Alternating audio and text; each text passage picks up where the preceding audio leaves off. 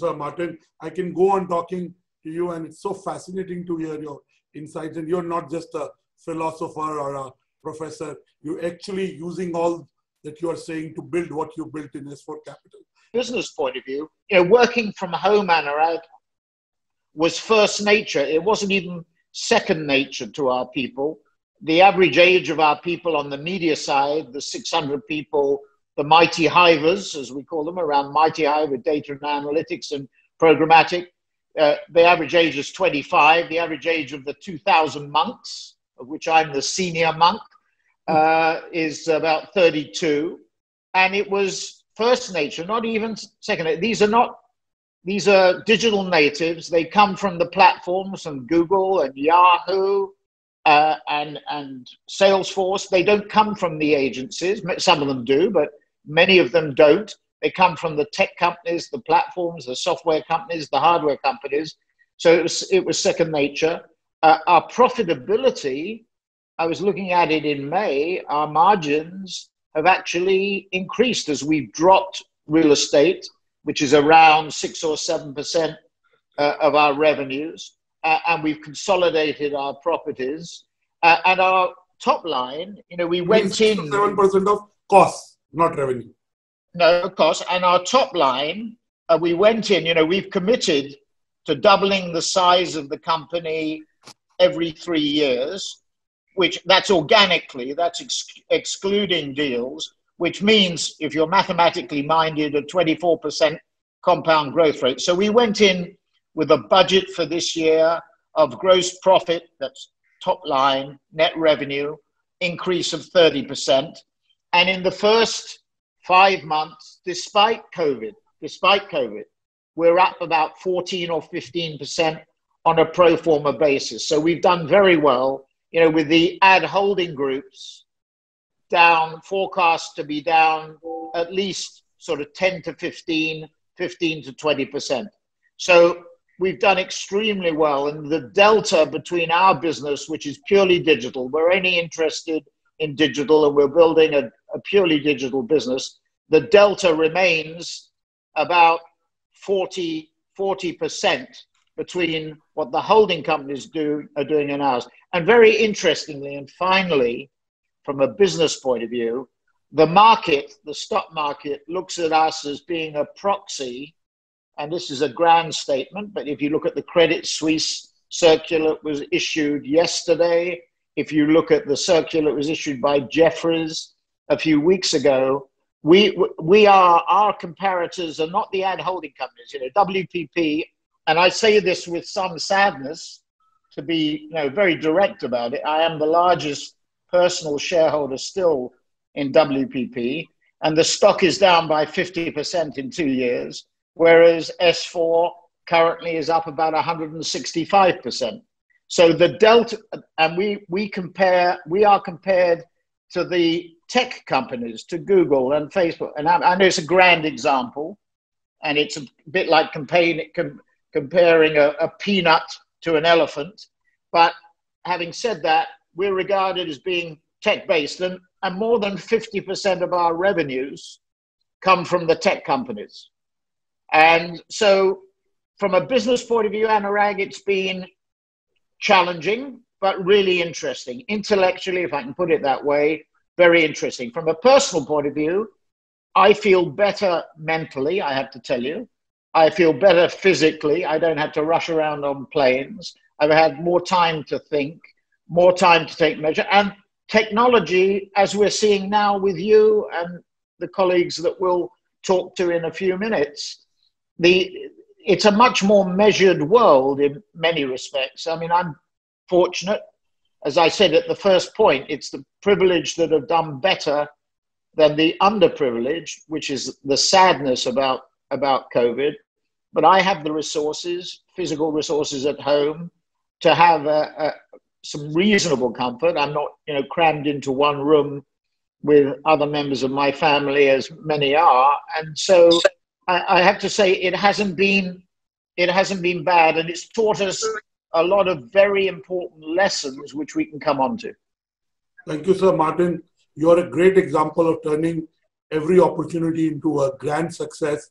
Uh, and in some way, You show. I wish. I wish. Anna, no, you have. What what S4 has achieved in a very short span, and uh, with what COVID has provided us an opportunity for digital acceleration, and your positioning as a digital uh, communications, uh, you know, ecosystem, if I may use that word. Augurs well.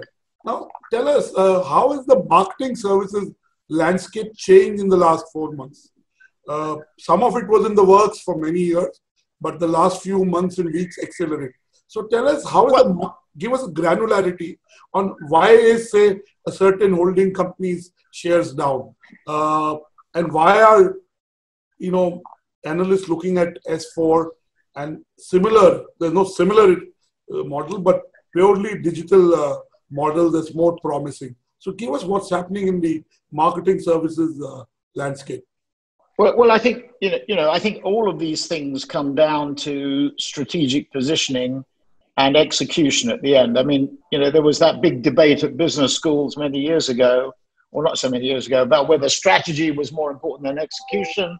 And then there were some professors that said it's all about execution, don't worry about the strategy. I think the honest answer is it's both. And we're very fortunate, you know, in a way, you know, out of adversity, in a way, comes comes opportunity. That the Chinese characteristic for crisis is also opportunity, which everybody everybody says.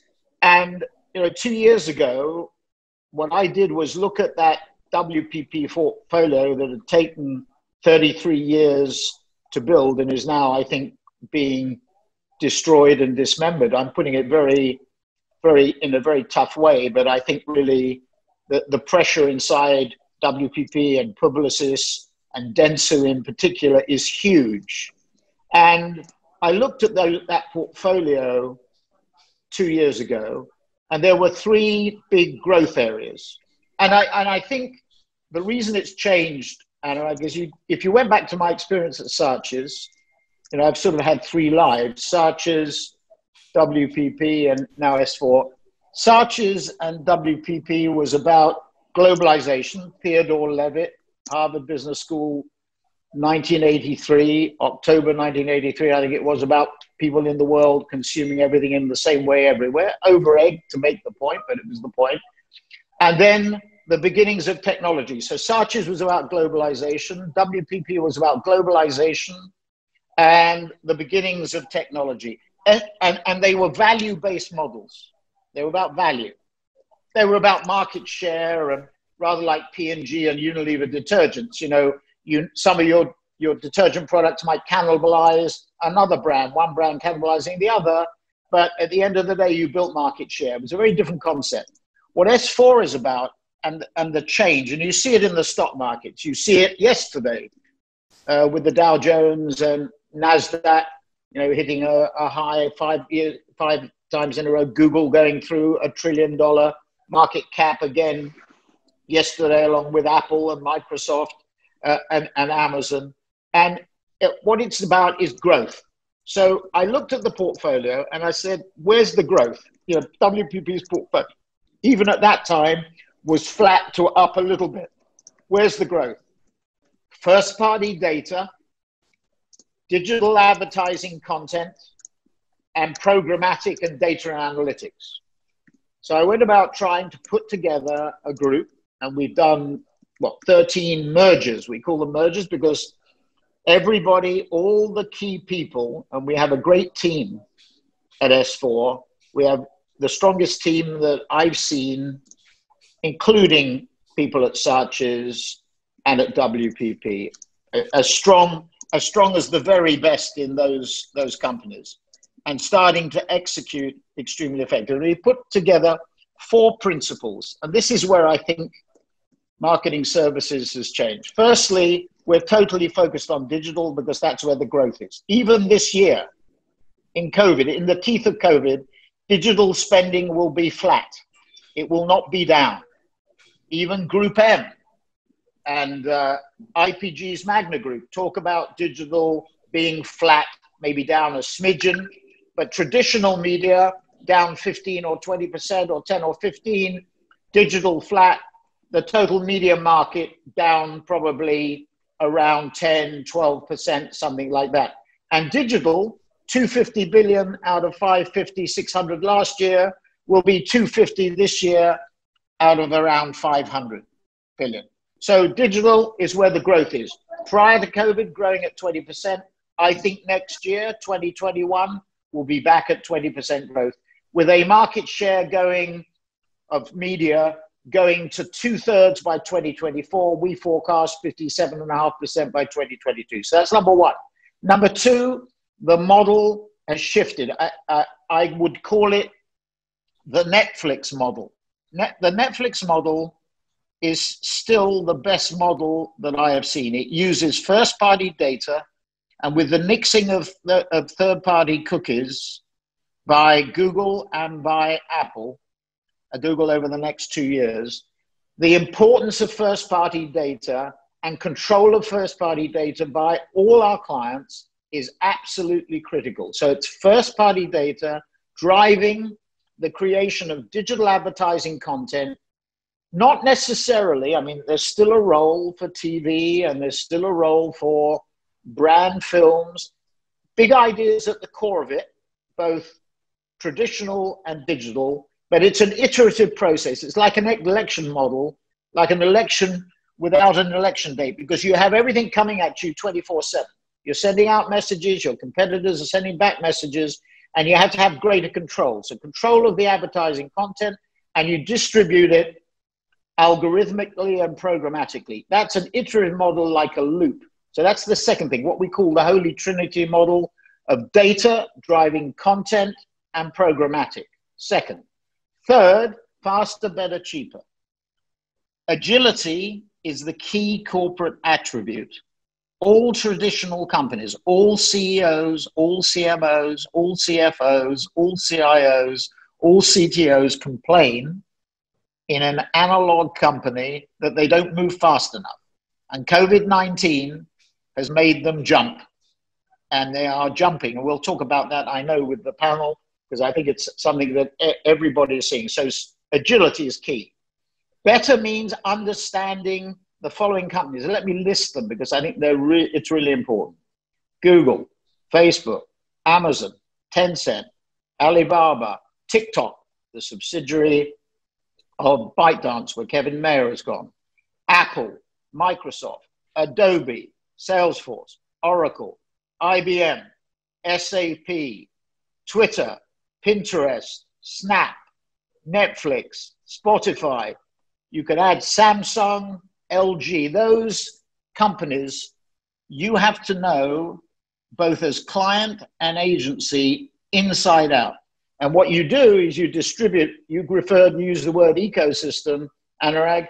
That's the ecosystem in which we're operating. And cheaper means efficiency, not ZBB, because zero based budgeting, I think, ignored the importance of innovation and branding. What it did was cut out so much cost that it forgot about the importance of innovation and branding. So it's efficiency, but it's in a, in a different way. And then the fourth point is, and this is key to why the ad holding companies are failing, the key is a unitary structure.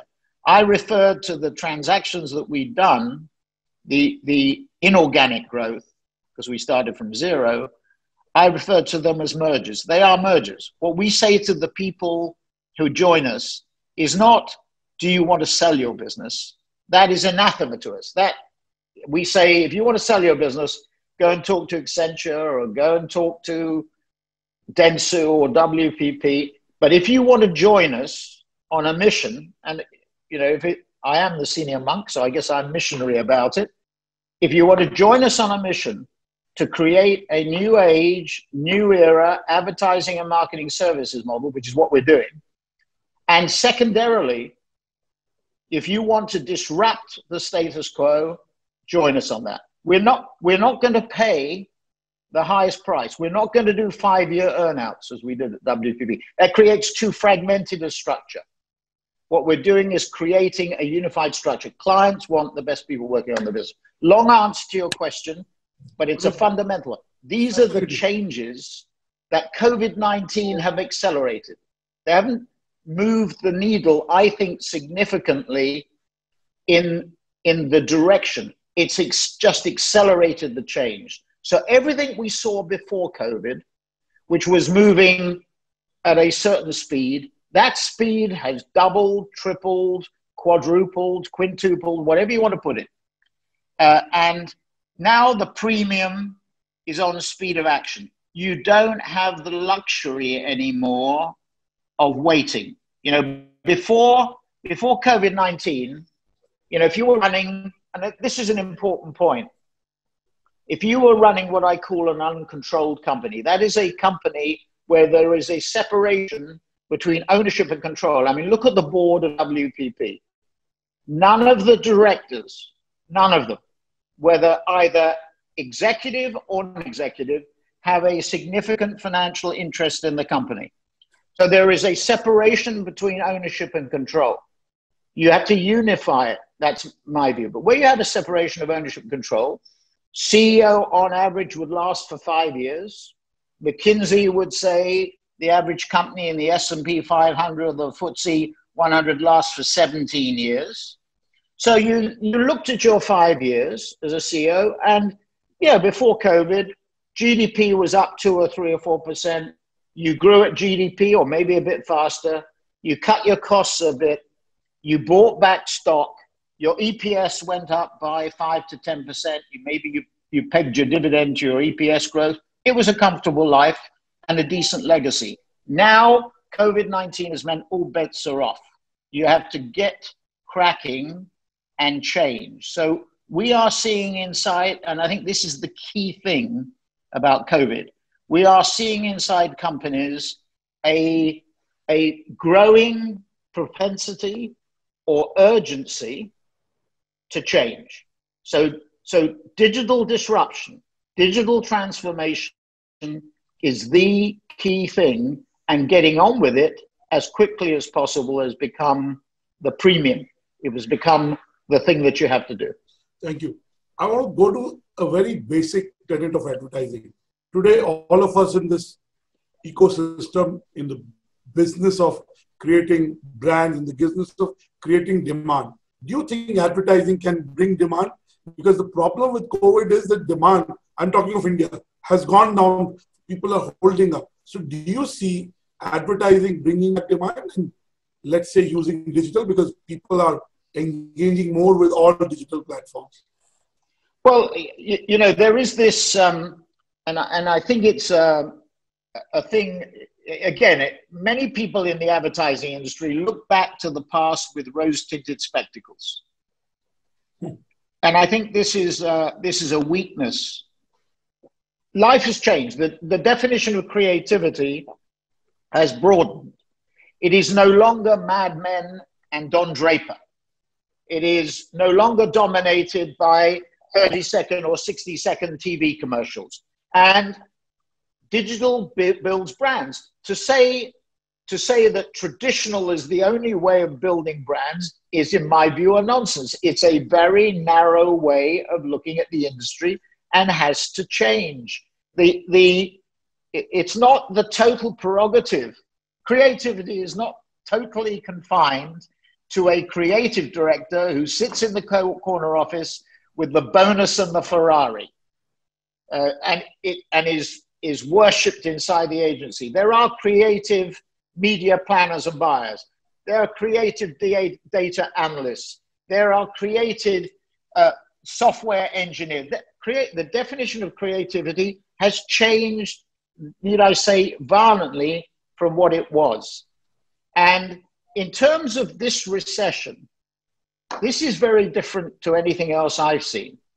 Uh, it's not like the great financial crisis. It's not like the internet bust of 2001 2. It's not like the crisis of 91 2, which many people on this call probably don't even remember, or going back to the oil price crises of the 1970s. This is as near as you can get to wartime. And I think, coming back to your question, it is, it is wrong of our industry to suggest that in the teeth of COVID 19, the solution is to spend, spend, spend. Some of, the, some of the people here uh, in the industry here in London uh, and in New York said the solution in the in the depths of it, as far as the, the West were concerned, although in America we are seeing a resurgence uh, of cases, but in the depths of it in March and April said the solution was spend, spend, spend. I, I totally disagree with that. That was not the solution at that point in time. The, the solution, it was an existential crisis. Companies were, in, were threatened with being wiped out. And, and the unique thing about this is look at central bank fiscal intervention. I can't get, Anurag, I talk to investment institutions. I can't get an investment institution, even the most powerful in the world, when we talk to them, to give me a figure as to what the total fiscal infusion into the world's economy is. The world is about $75 trillion uh, of GDP. The US is about 23, 24. China's around 12, 13, 14. Japan, I think, is about five or six. The, the, the five big Western European countries are all around two and a half, three and a half trillion. We, one big institution said to me, this is the range the range they put on it, they thought the figure was something like 15 to 30 trillion, right? Let's assume it's at the south end of that for a minute, around 15. I heard Vestager, um, not uh, Vestager, uh, sorry, Van, Van der Leyen uh, uh of the EU say that the EU fiscal stimulus was around 13 trillion euros. So, which I think is on the high side, but let's say it's around 15. That's huge in the context of, of what's gone before. That is what is necessary to maintain and increase the economy. You've seen the Chinese in the last few days pumping a lot of liquidity into the system. The puzzle a few weeks ago was why the Chinese central bank, People's Bank of China, the PBOC, had not done it. Now they're starting to do it. I think it's because of the trade tensions. I think it's because of Hong Kong and Taiwan and the Philippines and Australia, and indeed, dare I say it, the tensions with India uh, and the US, which worry me greatly. I mean, it's top of my concerns, or amongst the top of my concerns, the conflagration between the US and China, which, I, you know, this bifurcation, this decoupling is a serious issue. But now, coming back to your question, is the time when our clients have to get their act together. It was not the time to do it in March and April. In March and April and May, it was a time to conserve. My view is, you know, no, I, I've, you know, I write to all our people every Sunday. I've been doing it now for 15 weeks through COVID. And, you know, I've said about probably the third or fourth week that I wanted to prepare S4 to emerge from the COVID 19 crisis at the end of June and going into July. I wanted to do, I wanted to conserve our financial resources. I wanted to maintain a strong balance sheet, which we managed to do, net cash, no debt. And as we, we've done a couple of deals, we, we bought a data and analytics, merged with a data and analytics business in Argentina. Two or three weeks ago, we merged with a similar business, data and analytics in Australia. Last week, we will be doing something uh, in the third week in July around the Amazon platform in North America. So we are we have been active, but at a small scale because I want to maintain the strength of the balance sheet. Now is the time to take advantage at precisely the time that the holding companies are laying off 50,000 people. That's what they're doing worldwide. And in America, the holding companies and the independent agencies are laying off 50,000 people. So there's a huge cull, a Darwinian cull taking place in those companies. And what are we doing? We're hiring more people. We're cutting our indirect costs we're cutting our real estate costs and we're investing more people. We've gone from 2,400 people, small scale, to 2,600 people over COVID. So we're continuing to invest, we're continuing to hire at precisely the time now. So the answer to your question is just like we're investing in our seed corn, which is our talent, I think clients now have to start to open their wallets. This is the time to take about as because Q2 is a disaster. And we're going to see the results of the companies reporting in the next few weeks, and it will be a bloodbath. But Q3 will be relatively better. Q4 will be relatively better. And as we get into 2021, I think we're going to be surprised by the upside. And, and to put it, to give a shape to it, the Nike swoosh is not the right analogy. I don't think it's it, it's a there are some sectors that are V-shaped, and we can discuss that. There are some sec- sectors that are U-shaped, that are L-shaped. I don't think there are any chairs that are going out completely out of business. There are some that are really challenged, like the airline industry, but that I, I don't think there are many chairs, if any. But I think overall, it's a to confuse everybody. It's a reverse square root. So think about that reverse square root: a sharp downward contraction a sharp upward correction, but not to the level that we were before. It's going to take some time, a year or two, to get. That's why I think the swoosh is not the right analogy because the swoosh implies you're going to go past it. It's going to take time, but there will be sectors that do. You know, for example, the tech sector. Those companies that I mentioned, those 20 or so companies, you know, they are V-shaped. The U-shaped tends to be more the packaged goods companies, although Procter had an outstanding, Procter & Gamble had an outstanding first quarter. Unilever had a good first quarter, but it has its food service businesses and ice cream businesses that have been under pressure. But generally has done well with its product portfolio. Nestle has done well. L'Oreal has done well. But when you look at all of them, Mondelez has done well, very well. But when you look at them, it's their online that has really taken off like a rocket. I was lo- listening to Levi Strauss yesterday. Chip Berg, the CEO, is cutting uh, the number of people in the business, I think, by 15,000 people. And he says to invest in innovation and marketing and grow the business. And I think, again, that's emblematic of what should be happening now. Not in the teeth of the crisis, but now. Now is the time to take advantage of this huge fiscal stimulus that's why the markets are where they are. Some people say they're too high. Some people say they're they're not because you take out healthcare and you take out tech, the markets really in America haven't gone anywhere. But that's been the case for about five, sure. six, or seven years. So the fiscal stimulus has really protected. So, for example, here in the UK, what I'm worried about is what happens when the furloughs, you know, the government has subsidized all businesses, if you retained your people, they would pay 80, percent until October. And Rishi Sunak, you know, our, our, our chancellor, who's done tremendously well, came out with a 9 billion pounds stimulus yesterday. I, right direction. You know, if we, we've taken no government money. You know, we're doing, uh, we, we applied, but we were refused because I because we're doing too too well. You know, in Holland, for example, you would you would be given government subsidy if your sales were down by 25%. Ours are up 15%, so we can't, you know, we can't we can't argue that. But Sunak, the chancellor, has put in nine billion, and if we if we had furloughed anybody, which we haven't, basically, if we kept them on, we would get a, a bounty, if you like, of a thousand pounds. I think it is uh, as long as we pay, continue to pay them for, for two months. Look, I think it's a good idea what he's doing, but it's, it's not enough.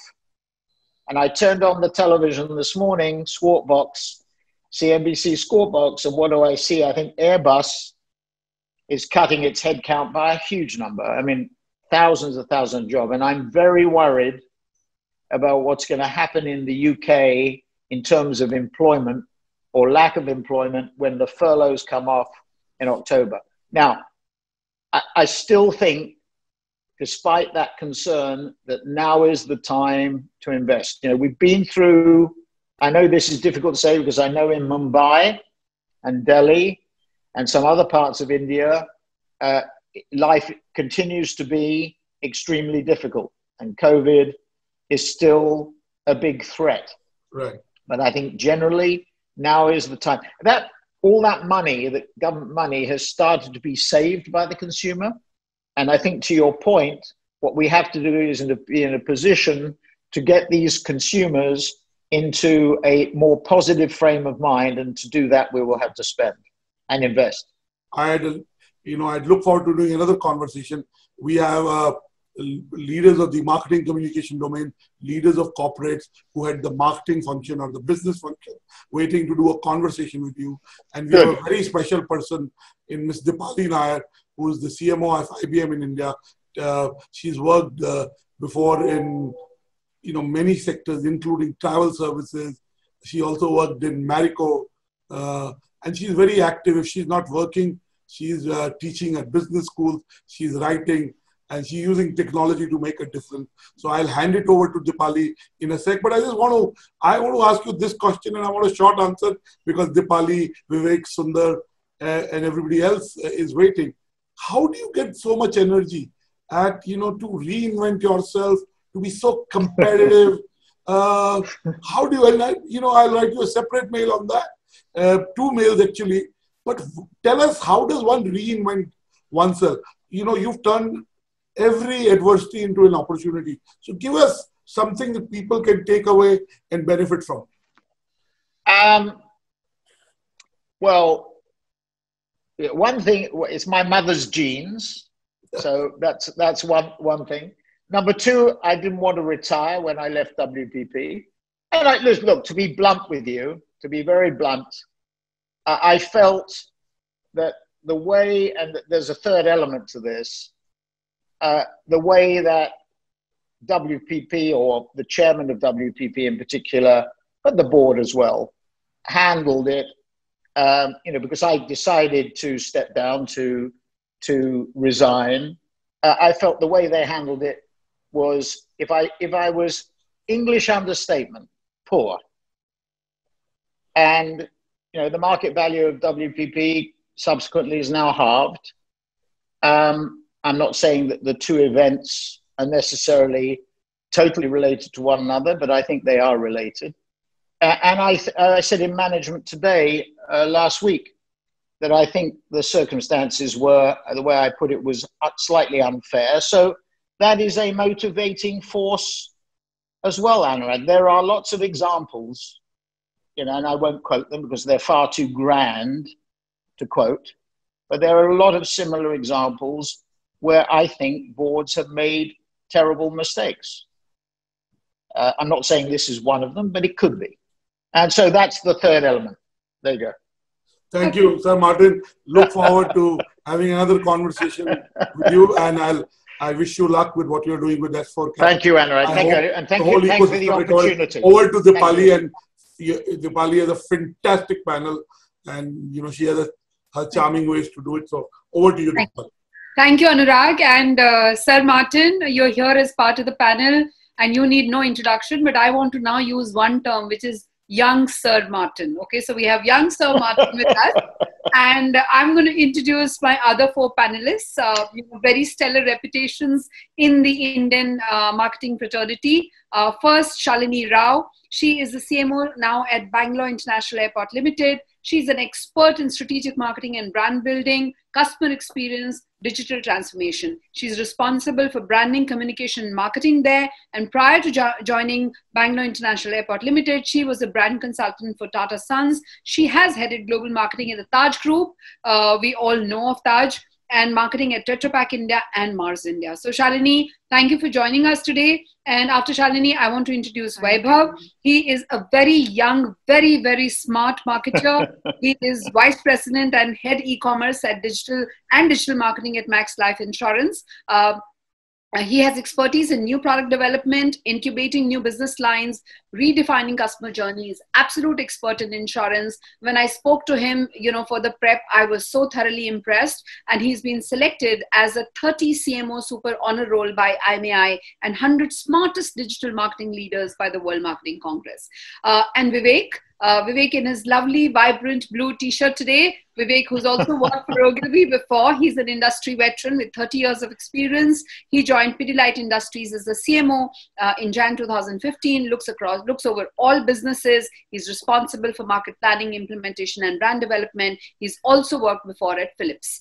Um, and then, of course, Sundar, uh, my friend, uh, Sundar Madakshira. Uh, he's the head of marketing at Adobe India. He leads all businesses and routes to the market planning there. He's responsible for building Adobe brand strategy and awareness in India, partners very closely with the country leadership team to grow the Adobe business in India. He's had 24 years of experience in sales and marketing. Uh, and, uh, you know, he's also worked for Hindustan Unilever, Wipro, Visa, SAP, and Infosys. But Sir Martin, you stand the youngest here. Okay. And, uh, you know, as is customary, we always tend to ask the first questions to the ladies, but I won't. You know, I'm going to ask the first question to Sundar. Uh, uh, Sundar, you've been the Adobe, you know, CMO for a while, and you have the vantage point of speaking to most top CMOs in the country. Therefore, you know, I want you to share. And you know, we we spoke to Sir Martin about all the stuff that's happening across the world. But what I want you to do is to share with us what are the CMOs telling you about what's happening in India in the digital transformation domain in this current context. Thank you, Dipali. It's uh, wonderful to be a part of this panel. So, welcome to all of you. And uh, um, it's an honor to be with all of you and with uh, Sir Martin Sorrell on the same panel. Um, I was, for a moment, I was just feeling that it would have been so great for me to just attend this event and listen to all of you. Um, but um, I think um, um, I read a thought, you know, a long time back, and it stuck to my mind, saying that your attitude will determine your altitude. Uh, and uh, that is so true. Uh, you're right. Um, in, in my current role, I have the privilege of speaking to marketing folks across many industries. And it's great to see how people from the same industry have, are reacting very dif- differently uh, to the challenges that they face. So I thought, um, what, you know, when I was trying to summarize what I should, you know, what broad buckets they fall into, they are, uh, I call it SHRED, S-H-R-E-D, right? And what each of that uh, potentially stands for. The first one, SHRED is S-H-R-E-D, the first one is S. So I think there are a bunch of people, and uh, uh, you know, we alluded to that point earlier, was about who people who are wanting to seize the moment and accelerate, right? The people who said, look, great that the old rules don't apply anymore. Let me look at my world in a different way let me seize this as an opportunity and then sort of move ahead. That's the first category. Uh, an example of that uh, is a holiday resort. Uh, it's headed by a friend of mine, and uh, I was trying to reach out to him when the lockdown and all of that happened. And he said that he was very busy. He always said he's very busy and he's not able to meet. So I said, look, you guys must be the laziest people in this world. Oh, nobody's going to be coming to your resort. So what are you busy working on? He said, that's precisely the time we believe that you know we want to make a digital transformation happen uh, when you know in in these uh, circumstances and we want to accelerate it. We want to achieve what we would have probably taken two years to do it in two months. So when this is all over we are representing ourselves like a new company. That's the first one s which is seizing and you know accelerating the opportunity. The second one is about h which is hearing and listening.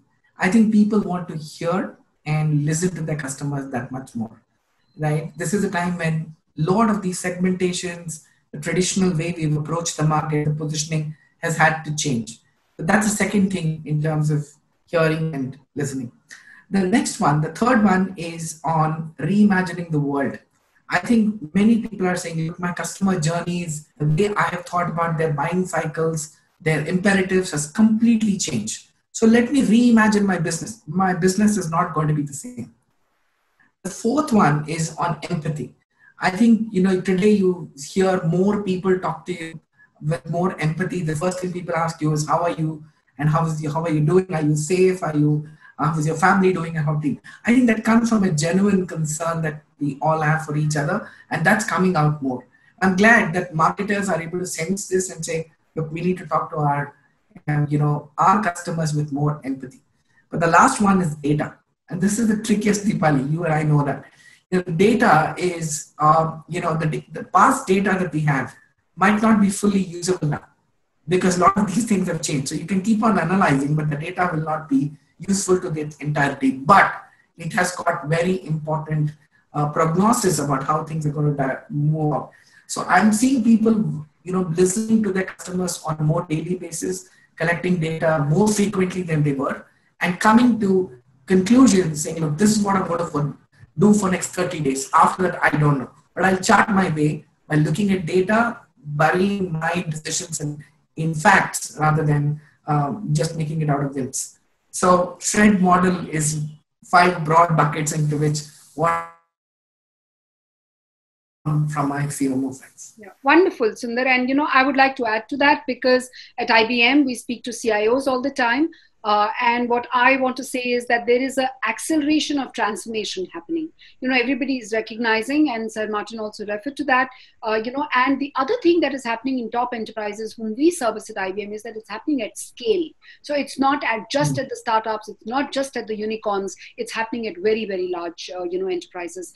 And you know, to go on with uh, you know uh, who we have here, and now uh, Shalini, I think one of the unique things that you're doing, Shalini, is despite the fact that airport has not been used you know in the last 100 days or so. Uh, you know you you do not have flyers coming into the airport. You are still you know continuing to communicate. And i want you to therefore share with everybody you know how are you making sense of this mayhem that is happening? What are you doing currently and why? Why is it that you think it's important for us to engage with the flyers even just now? Thanks Dipali. Uh, so a couple of things that i think taking forward from what sundar said as well what we realized is when this whole crisis hit us, and I, I guess it hit us pretty hard because suddenly from uh, you know X number of flyers a day, 100,000 a day, we suddenly went to almost zero. And we realized that there were two things that were coming up at that time, and uh, very classic consumer behavior market insight. Uh, people were worried uh, about how and when they were going to travel again, and there was a desperate need for information. And we realized that just from the sheer deluge of questions that we were getting on our call center, on our website, personally, and we said this is a great time for us to continue to engage because suddenly all the old mediums got taken away. Nobody on ground, nobody in restaurant, nobody shopping, nobody doing anything. Uh, and we went out and said we have to engage because you're going to come back and travel again. But you're going to come back with a very different set of expectations and you're worried. So, reassurance and information were two things we picked up, and we said, okay, let's actually go out and reassure you and tell you everything that we're doing. One, while waiting for you to come back. And it's been about 30 days now since we've restarted domestic operations, at least. Um, and just reassuring that it is a safe way to fly. There's a whole bunch of things that we're doing to keep you safe. So it's okay to come out. And the second is there's so much changing on information.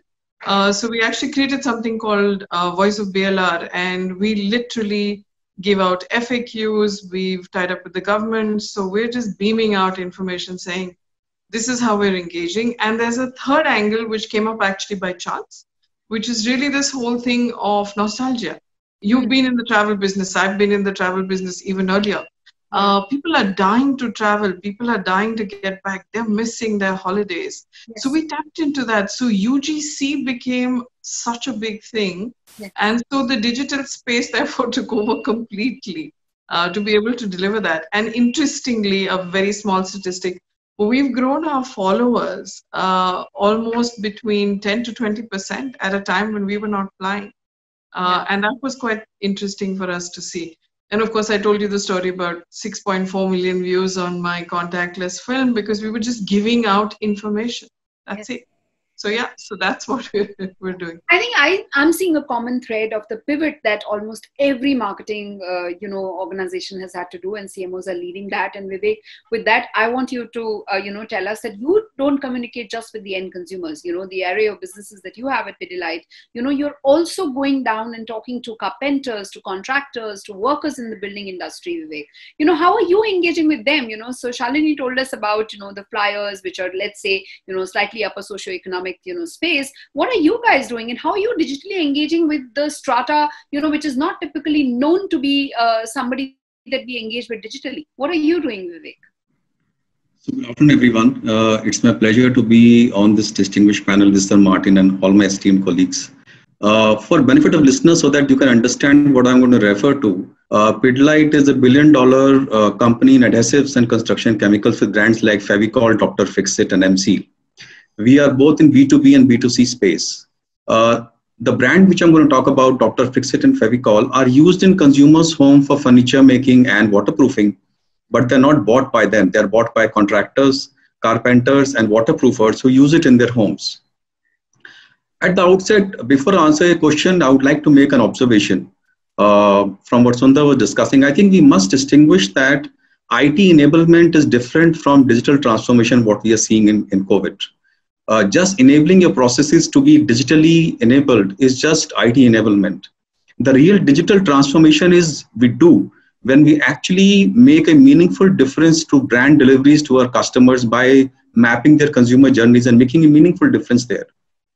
And let's talk about the consumer and the customer journeys we have of contractors and waterproofers and carpenters. Now, these are the people who are not very educated, but everyone has a smartphone, and our processes of connect with our contractors were already digitally enabled. What has this pandemic done is that it has accelerated the whole transformation and the connect program you know if i can say Dipali the first question which you asked from the, from the on the uh, package goods company and services company which we are this covid has actually converted naysayers into believers in the company yes. that's one second is it has actually accelerated the digital transformation at a very rapid pace what was happening earlier in a company in one year we now plan to do it in 60 to 90 days and we have formed crack teams of young people to do it now, quickly answer your question. What did we do in this time with the contractors and waterproofers and, uh, and, and carpenters? Very simply, we converted all our meetings with them from offline to online. Mm. We did product training with them digitally on phones through films and meetings. We did, did new product launches. We did safety training for COVID. We also knew that they were struggling in their business to enter into consumer homes because consumers were very, very safety conscious. Yeah. So we trained all our contractors, carpenters, on safety, COVID safety program. We certified them, we gave them the safety kits, and we actually enabled their business. And we are continuing to be training all these thousands of contractors or carpenters. Third interesting thing we observed was that consumer attitude, behaviors, and consumption is changing in these times. Consumer is becoming more value conscious. Our consumer is repairing more at home. They're spending more time at home. And in india which is not a diy country they are doing more diy themselves because handyman are not available.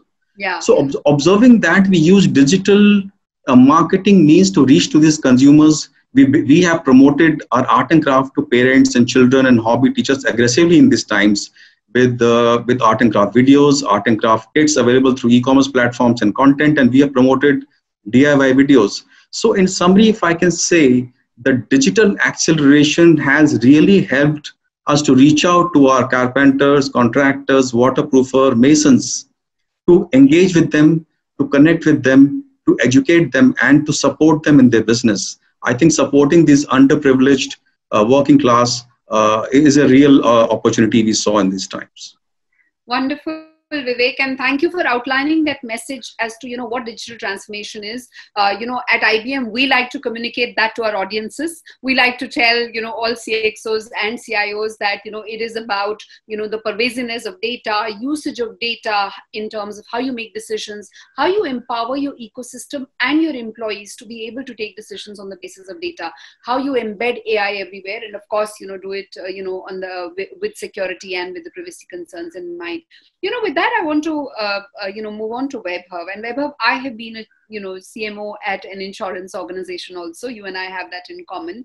And you know from that experience, I know that the partnership you know uh, that you have with your CIO, with the IT team, uh, you know when it comes to e-commerce, is key to winning in the market more than any other industry. You know I can say that about insurance and financial services, right? However, you and I also know that while everybody is talking about transformation, you know it's not always possible and it's not always so quick on account of the you know legacy systems that we have you know. While we would like to do everything at super speed but it's not possible. What has your experience been at max life? And you know what steps are you taking therefore to uh, you know prepare yourself for the future?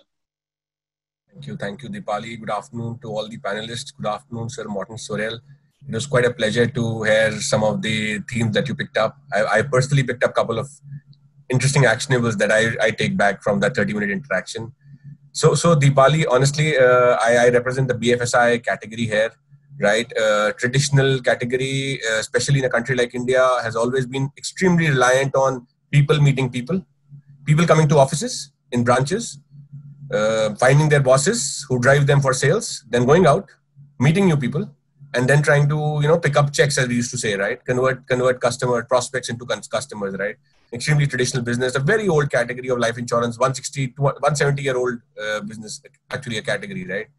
Now, uh, interestingly, uh, Dipali, transformation was not a need to have for us. It was almost a survival for us, right? And I completely agree with Vivek that it was not about automation or digitization of processes, but almost a transformation in terms of the way we uh, envisage our consumer onboarding journey, our distributor onboarding journey, and the way our distributors interact with customers. And I'll, I'll spend some time on it. So uh, really, and if I, if I honestly speaking, you know, a few years back we had done this uh, integrated customer journey, and that time it was nice to have. Huh? That was that time it was a nice to have marketing item to have to do an integrated consumer journey and arrive at you know some consumer personas and we arrived at three very distinct consumer personas when it comes to a category like life insurance you know uh, a safety seeker a support seeker consumer which consumer in this country then a well informed consumer and then an independent consumer.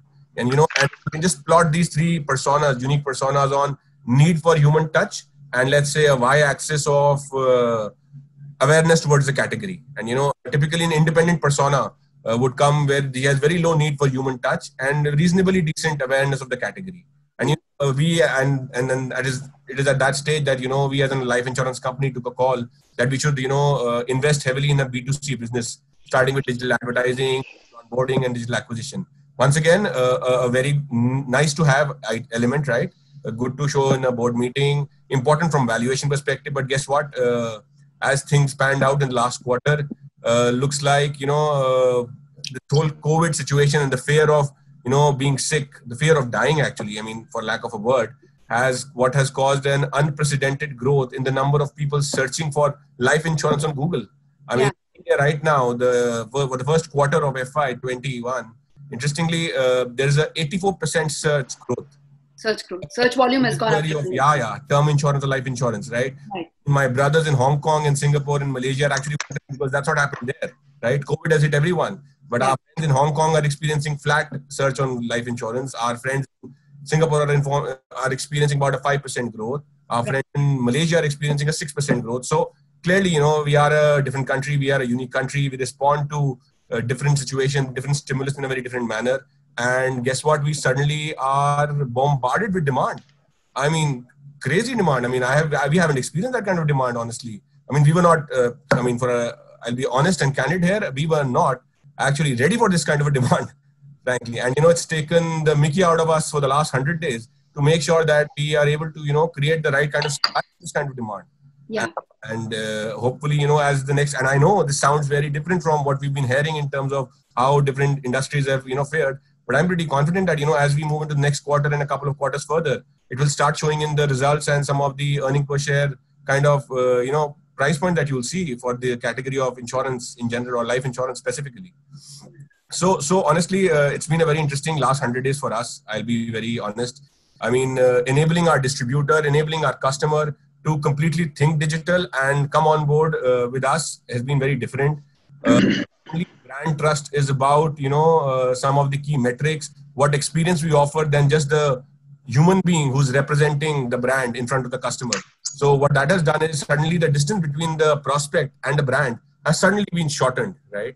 Because now uh, there is it's not necessary uh, the having an intermediary who goes and represents your brand to a consumer is not a mandate right suddenly the consumer is wanting and willing to access you know uh, directly with your brand and guess what uh, uh, 30, 20, 32% of the traffic that comes on my platform today is actually searching for COVID. He's yeah. trying to find out if, if, if, my policy covers COVID related deaths, right? I mean, uh, and, and it's, it, and really it's a very engaging conversation that it becomes from there on. So, so really, uh, I'll tell you the big changes that we've seen in the last 100 days is a significant improvement in the user interface to start with. Uh, which which was I think significantly ignored in the category of BFSI. I know user experience comes, you know, something that is core to all of us, but I always believe that you know the first step to user experience is to create a decent user interface. Yes. So for a for a distributor enabling platform, you know, the kind of focus that we are putting on user interface, because remember now there is no human being training human being, right? Yes. There is a laptop or a or a phone, mobile phone on which the training is happening between fifty thousand odd agents and you know the central advertiser here.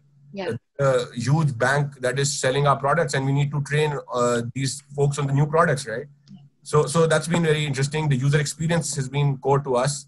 Yeah. The system, I agree, Dipali. That's it's it's always been a case. I think with anyone, all vintage advertisers, vintage manufacturers, legacy system has always been a problem. I'll tell you, uh, frankly, from a from a digital advertising perspective, I think the advantage is that the digital advertising platforms are somewhat get agnostic to these legacy platforms. You only need to be smart enough to know what signal to back, right? Right. Solve the signal. You solve the platform, right? Mm. The way we try and look at it, because you know all those legacy systems is something is, is a, is a long-term process. So really, for us, the focus has been from a digital acquisition perspective to solve the signal and not the platform. Great. Sir Martin, let me come to you. You know, you heard four different CMOs uh, belonging to four different industries. Uh, one theme of digital transformation is running the same, but how they execute in their companies is very, very different. And I want to underline what Vaibhav said that it's not just you know customer experience and the good design sensibilities, but it's the sturdiness of the user interface. Uh, you know that also matters in times like these. You know, after listening to them, I want to ask you, therefore, you know, are the marketing services organizations in India or in the Western world approaching this differently? Are they ready for the changing needs of the CMOs that you heard today? Well, so Dipali, are you talking about the old or the new? I'm talking about the new. I'm talking about the new to the young well, Sir Martin. well, well, let's say the, the old Sir Martin would be it would be you know the, the, the ad holding companies are past their sell by date, and and what's really interesting about your panelists, you know, Sundar, Shalini, Vivek, Vaibhav, they're, they're all actually, interestingly, uh, when you dissect it, they're all indicating very similar things. So, I mean, one of the big things we've seen during the last 15 weeks is this shift. Now, budgets as a whole, I mean, there have been two big buckets. The tech companies, by and large, have kept their spending intact. intact. They might be shifting money from live sporting events where they had big commitments, when the Olympics were cancelled or postponed, Euro 2020 was postponed, the IPL, whatever, money was shifted right. into purpose campaigns, the sort of things that Shalini talked about, information campaigns. Many of them were not good because you know if you remove the logos or or the names, you wouldn't know who was who was informing. It was all the same stuff. But putting that to one side, the, the intentions with the right intention. It wasn't just virtue virtue signaling. So I think what we're seeing, and you see it. Uh, sort of it's iconic in the in the four experiences that we're hearing here is this shift to one-to-one communication personalization at scale dynamic creative which is what we're getting at i would say this wouldn't i I'm talking my own book, with our Holy Trinity mod- model of first party data. You heard it mm. in spades here. The importance of, of you know, with, with which we haven't touched on, Google nixing third party cookies over two years, Apple taking it effectively out of your hardware. Right. The key, and you know, if you if you think about the insurance industry, I was talking to somebody from the insurance industry only yesterday huge first party data. Yes. How do you utilize that to build a relationship with yes. the consumer or the enterprise? In addition, most insurance companies work through a direct sales force or financial counselors. You know, Warren Buffett, Geico spends yes. about 1.2 billion to build the Geico brand at the consumer level and actually, he evaluates the CEO in the annual, his annual evaluation at margin before ad spend because he doesn't want the CEO to cut the spend, yeah. whether it's traditional spend or online spend. Right. So I think the first thing that you see, you hear, is this switch that's happened from the, there has been budget cutting, but traditional has lost out yeah. to, to digital interestingly, here in the UK, I was talking, you know, we, we've just signed an LOI with a really interesting company here in the UK. And I was talking to the guy uh, who runs it, and he was saying how television was so much cheaper here because of the lockdown. The audiences have expanded, the costs have gone down, and yet you know, television is inflexible. You have to make the commitments. You have the upfronts in America. It's a very rigid system. Online is much more flexible. and has sucked money in. So that's one thing. Second thing is agility. I mean, you're hearing it in spades from the four panelists that moving at light speed is critically important. And, and, and sadly, human nature is such that when things are going well, you don't change. Yes. But when, when there's a burning platform, you get off your backsides, if I'm putting it, but putting it crudely. Right. I think the third third thing is the importance. I'll come back to the importance of data. This is absolutely critical, and most companies that we deal with, and the tech companies are different, by the way, because the tech companies tend to have built their companies in a very short period of time. They don't have analog systems. They don't. Often they've grown organically rather than by acquisitions. They don't have different CIO and CTO systems. So data and pooling the data. I mean, we've seen an explosion during COVID, literal explosion. Yeah. In interest in data and analytics. And interestingly, it's not in the marketing budget. This is another important thing, which I'd like to hear what the panel thinks and what you think about this, Dipali. Yeah. There are three functions to me that have become important, not just the CMO function, but the CIO function. Yes and, and the CSO function, the chief sales officer. So sales, marketing, and IT come together. Let me just give you one specific example. The banks, hmm. most of the major global banks spend about 10 to 11 billion dollars a year on IT. That IT goes through the IT function, but a lot of it affects consumers. Yes. And is consumer facing. Often the CMO yeah. doesn't have control of that spend yeah. or any influence. Forget about control, any influence. Yes. So the CIO and the CTO goes in a direction, yeah, and the CMO goes in another direction. It has to be unified. Yes. And I think those three things have it. So those, those are some things. And, and let me just, one other thing I think is really important in an Indian context. Facebook's move, you know, I would say in the insurance industry, yeah. the biggest threat to the insurers I mean, you said it about yourself. You said about Google and Google search. It's Facebook. Hmm. Facebook knows, has all the data. They have all the signals. They have the direct relationship with your ultimate consumer. Hmm. You know, yeah, I, Ant Financial is just going public on the Hong, Hong Kong Stock Exchange, you know, with this great froth in the Chinese market and Jack Ma and Alibaba and Daniel are taking advantage of that. Another example the platforms have the information. Facebook's move with Jio is huge. It's huge. So I agree. And let me answer since you asked me that direct question. I think what you said is music to, you know, uh, my ears and to companies such as IBM because we are experts at, uh, you know, working with the CIO and the CMO and the CSO together. You know, IBM tends to bring them together.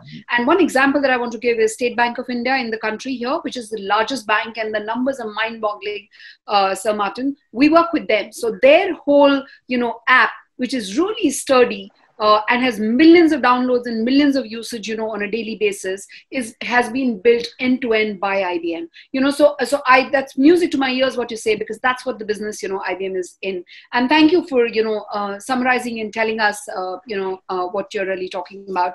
And my second round of questions you know uh, to the CMOs that I have over here and I want to go back to Vivek you know. Uh, so Vivek you already spoke about the fact that digital transformation is happening um, and you know that it's accelerated. So what does the future look like? Very quick quick answers from the four CMOs before uh, you know we we wrap up.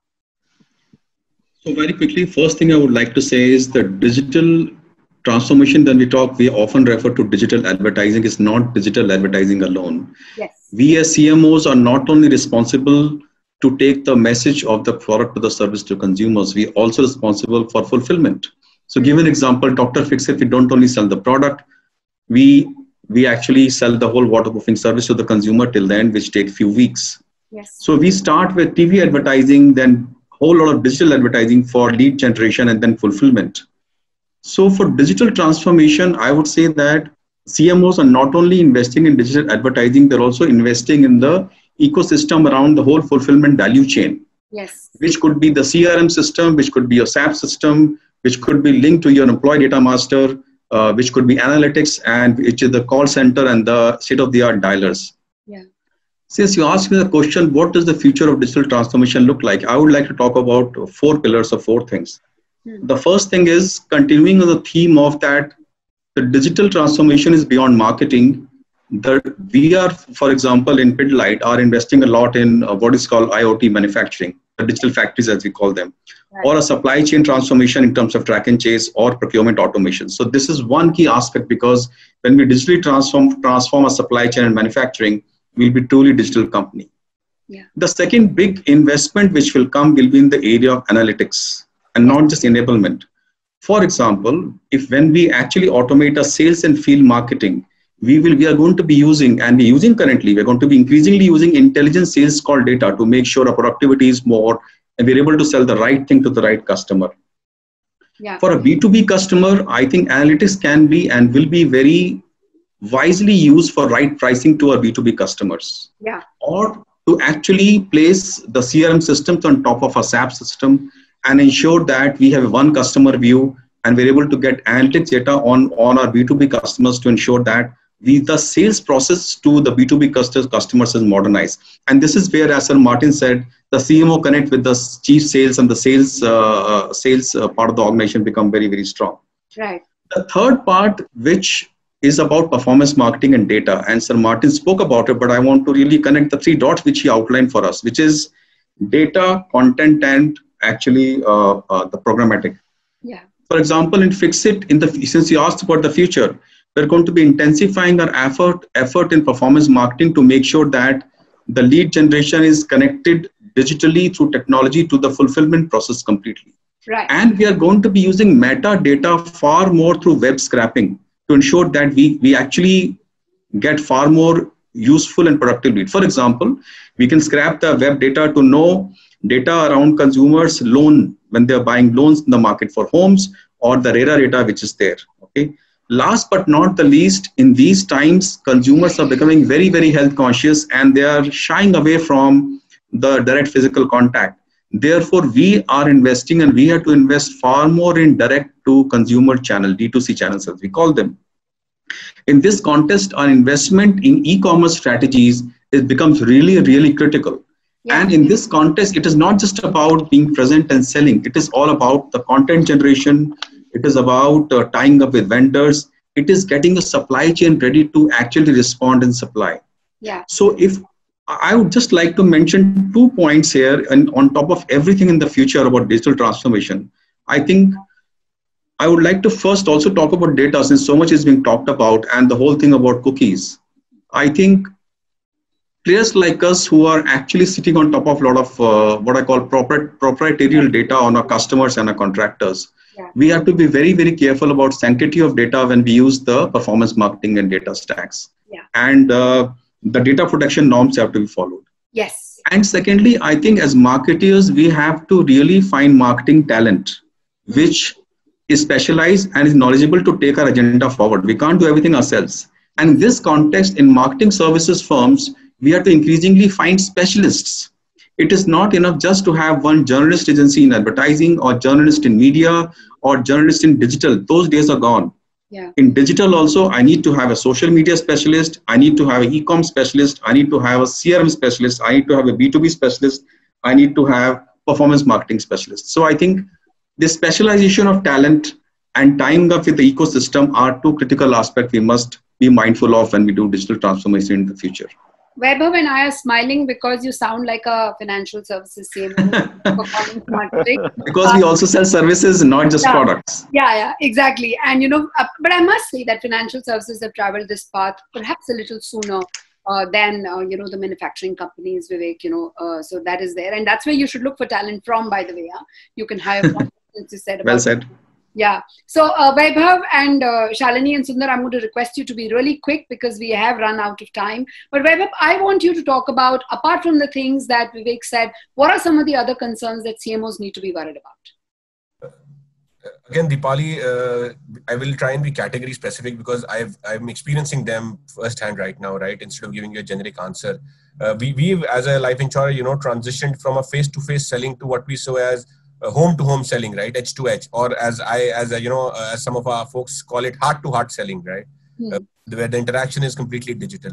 So uh, honestly, the one, uh, the couple of things that keep me awake in the night, one, the volume of data being generated and its uh, security, right? Honestly, that is something that is on my mind because you have, uh, you know, large, large scale distribution interacting with prospects uh, where I cannot, uh, or my systems are not completely embedded, right? In that we were not ready for these kind of businesses, right? Right. So, so that's something that keeps me awake in the night in terms of security.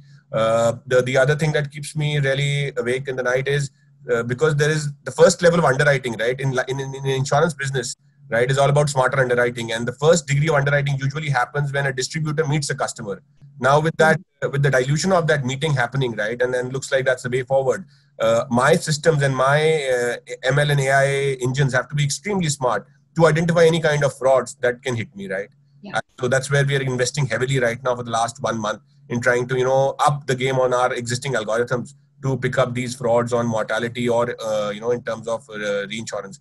The, the the big ticket item really for us is the big challenge I think that all life insurers are now facing. I feel and you know when I talk to my peers is that suddenly you know the proposition has become as important as the relationship.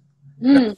We've been a category that has been for long driven by relationship selling uh, you knew Mr. Sharma, or you know, for, the sake, I'm just giving a name, who used to be your, you know, uh, good old friend of your father, of you know, some uncle who would come, you would meet, you would trust him, and you would just go ahead and sign up an insurance policy with him. I think, I think that has transformed in these days because the consumer is not, uh, you know, in physical.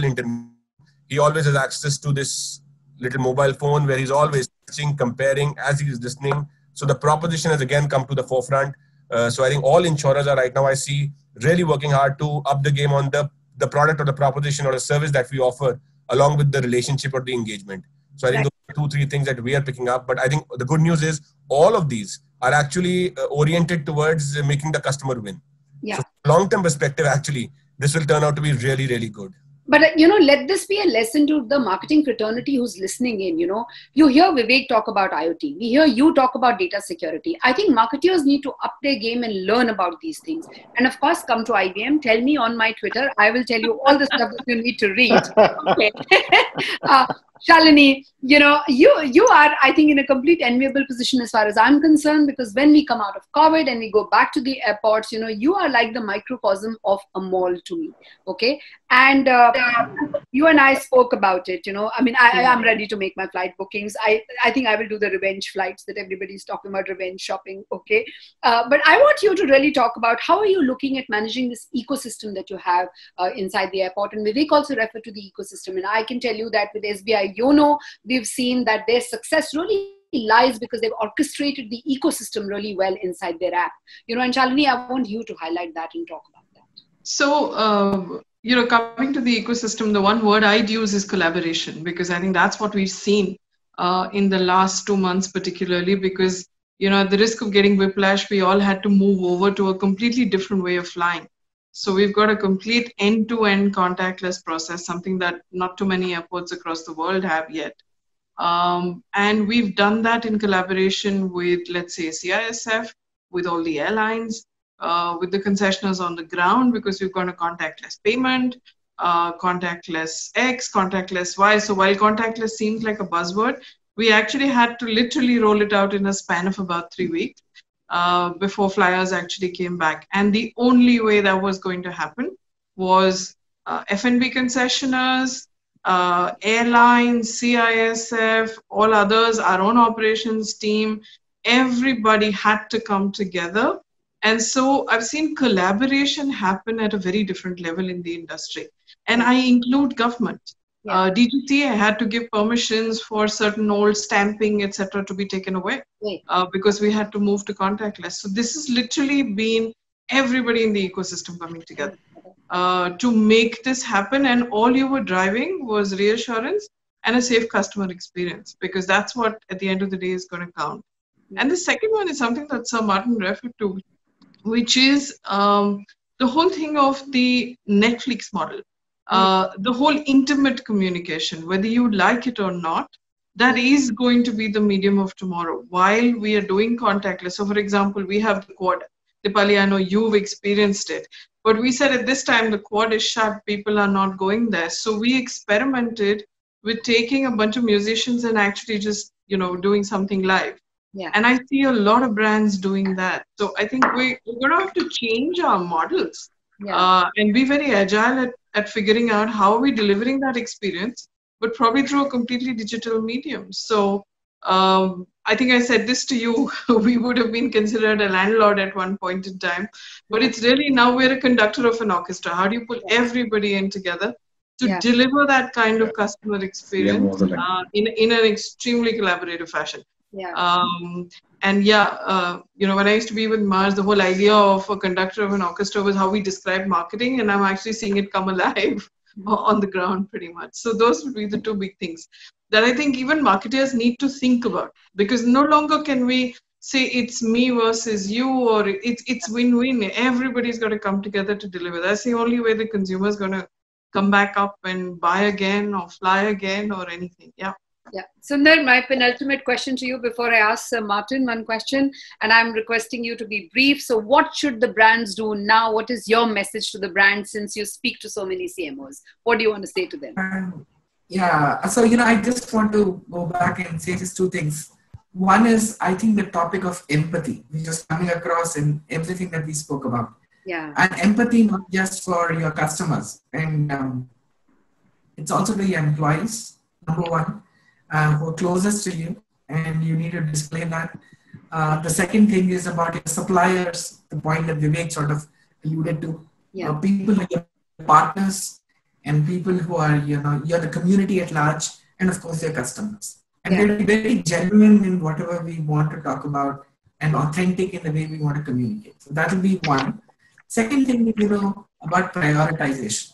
Uh, you know, we're, we're, you know, it's, we've got so many things to do and a lot of wild ideas that are coming. If we just look at what each one of them, Shalini, Vivek, and Vaibhav did, actually was to prioritize what is important to them and answer to that probably the most important thing. So for Shalini, it was information, or about for Vivek, it was about a supply chain. Vaibhav, it was about the query that was coming about coronavirus, whether it's being covered or not, right? So I think that is that's very very important. And uh, I think I really like the point about adding fulfillment as an important part of that digitization because sometimes we might imagine or reimagine world in a very different way.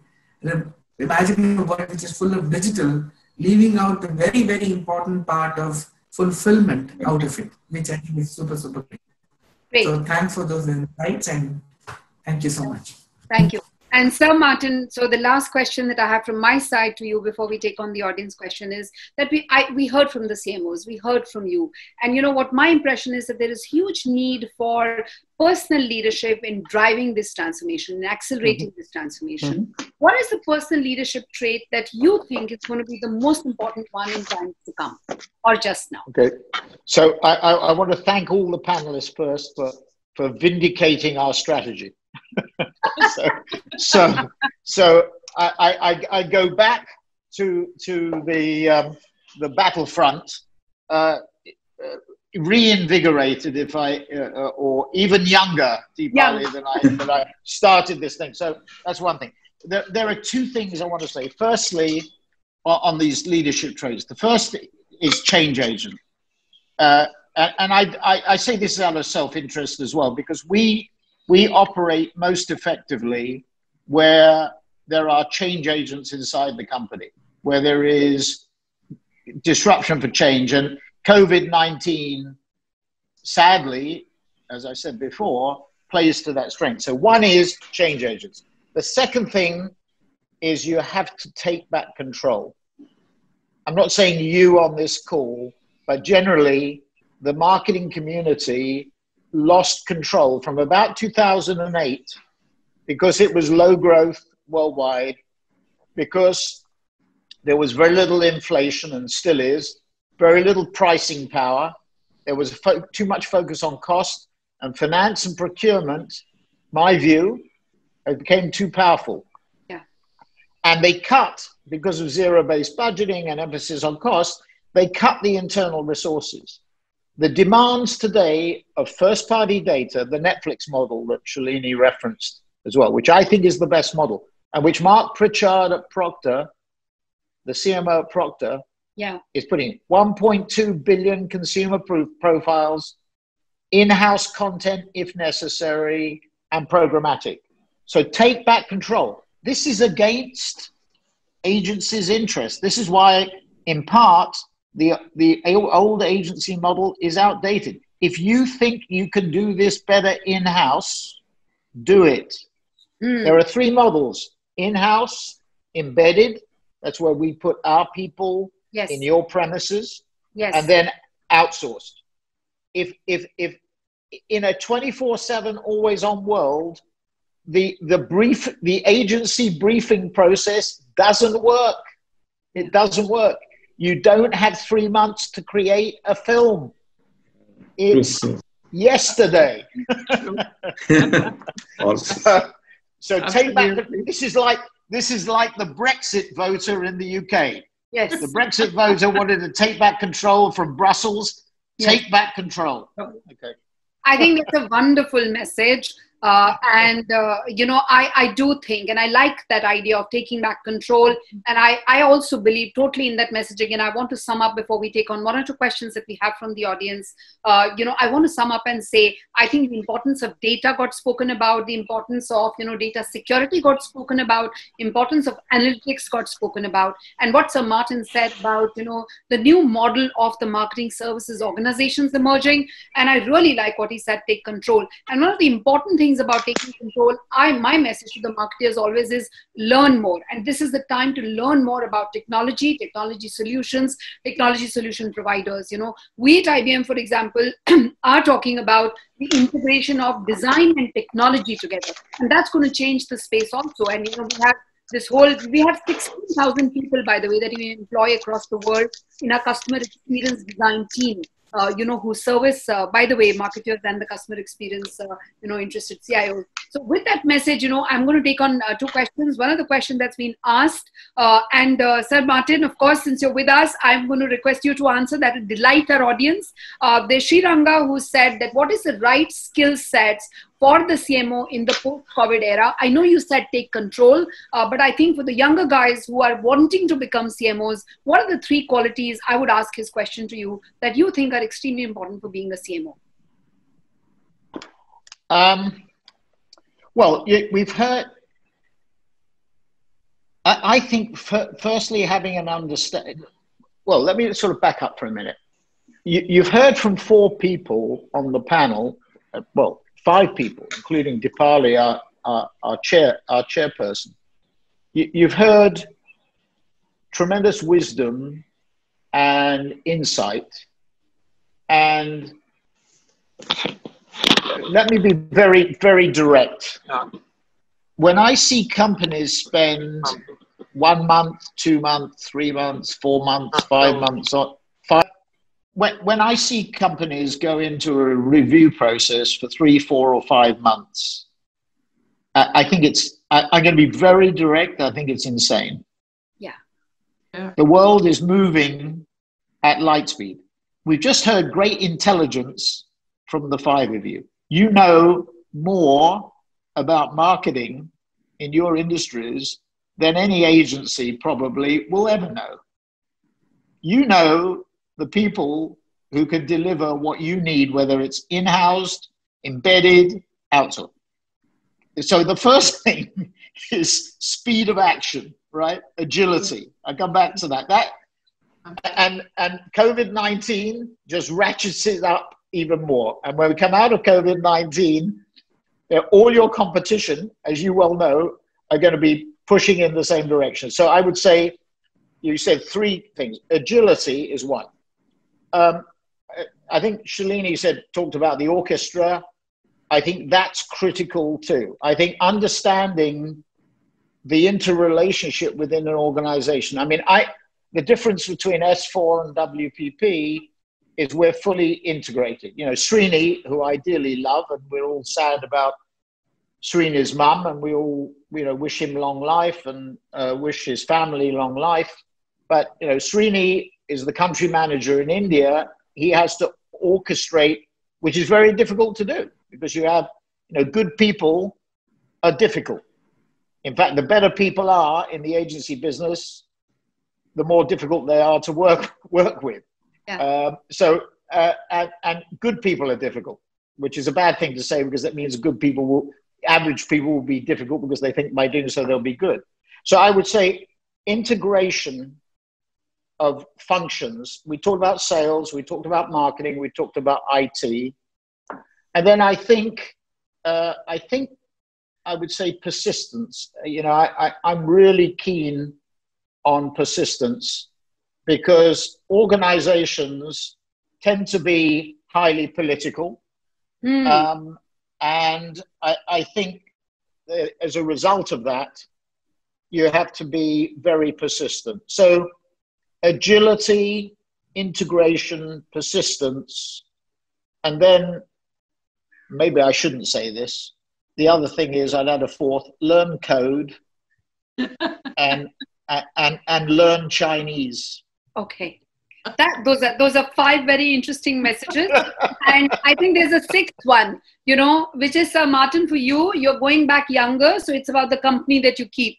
So keep company with us. Okay. so uh, let me wrap up with that. I think we can continue this conversation on Twitter.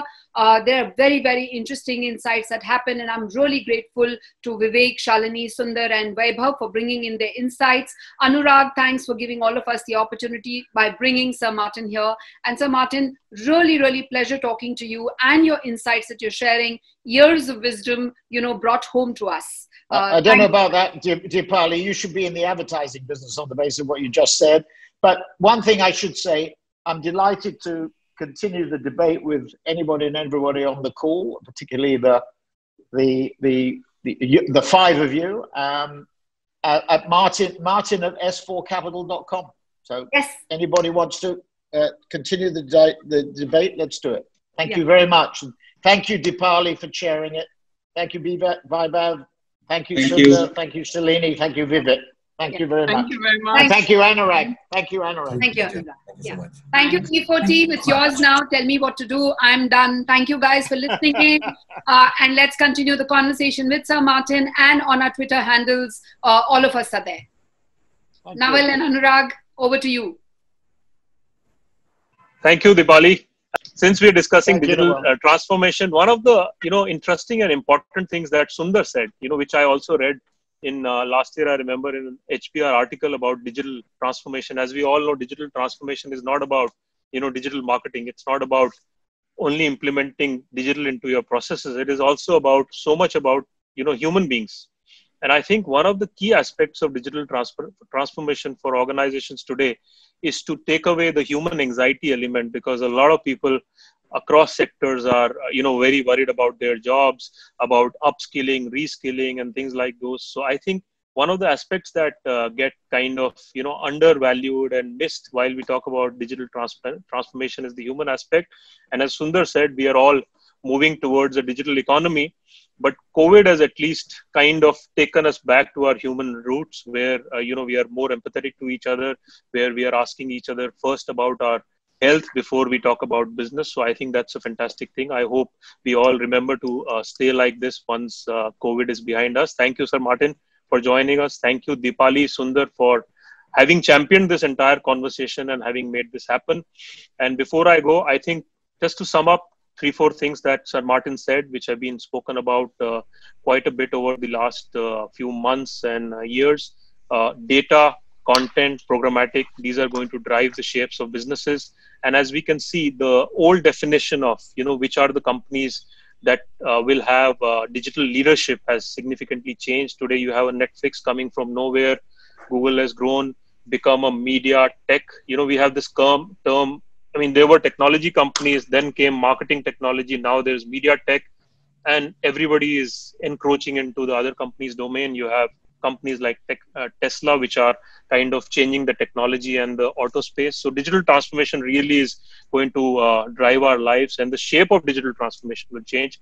We thank with that thank you uh, everyone for joining us. Thank you to all the panelists again. Till next time stay safe and we'll look forward to seeing you soon again take care Thank you, Noel. Thank you. Bye. Thank you. Thank Bye, thank you so everybody. take care Thank you. Ciao.